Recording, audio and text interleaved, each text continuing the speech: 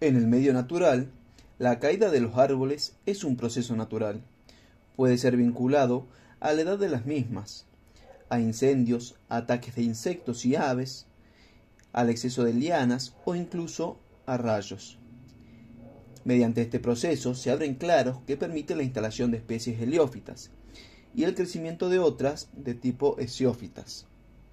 En general, en el manejo de bosques y forestaciones, la dirección de caída suele ser un factor importante a considerar, ya que puede dañar árboles de valor comercial y o a la regeneración de los mismos.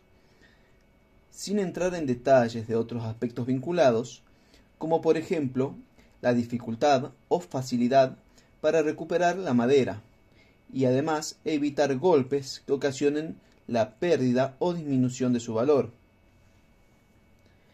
En el video veremos un ejemplo de caída natural en un bosque de la provincia de Salta.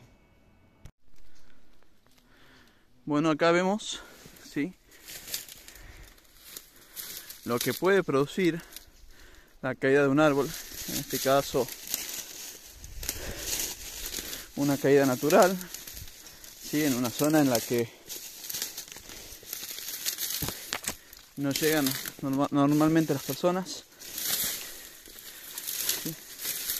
y cómo abre claros que va a permitir en primera instancia la instalación de